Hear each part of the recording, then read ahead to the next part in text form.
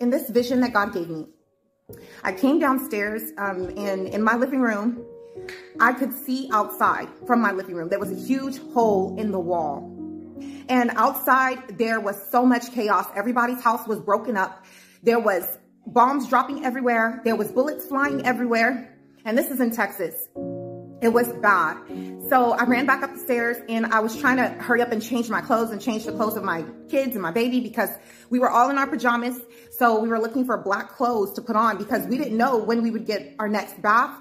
And, and with all of the debris and everything flying around, black would have been much easier for us to wear for a long period of time because we, we didn't know when we would be able to come back. So um, we we got all changed and stuff, and and I was I was kind of mad at myself in the dream because I felt like I should have been more prepared, um, knowing about how Russia is, is having um, issues with um, with Ukraine and everything right now. So I knew that I should have I should have prepared ahead of time or or just had all this stuff already done, but.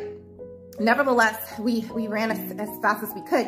And when we got outside, people's houses were destroyed from like these these planes that were coming that were flying over our heads. They were just dropping bombs and dropping like um dropping like like these bullets and stuff and these little bombs that would like hit people's houses and like blow things up and blowing up cars and everything. So we were we were trying to leave our house because if you stayed in your house you didn't know if your house was going to get bombed. Like it was that scary. But this war God showed me that this war is coming on, on American soil. It's not just going to be in Europe. And while, while that stuff is going on in Europe, there's going to be invasions going on here in America. We have to be prepared. You know, God told me about a year ago about the, the crash of the US dollar. He told me to start getting the things that I that I know that I'll need because when the, US dollar crashes, it's going to be very, very difficult for Christians to buy anything that they need for their self, for their family, you know. Because God showed me that the banks are going to close and everything is going to be digitalized and there will be a one world currency and it will not be the US dollar.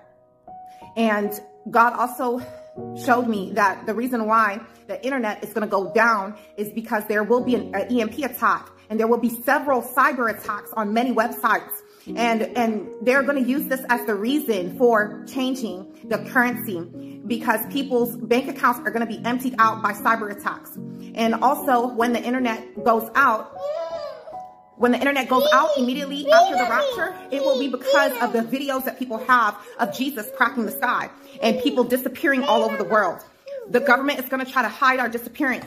We were not taken by aliens. We were raptured by our Lord and Savior, Jesus Christ of Nazareth.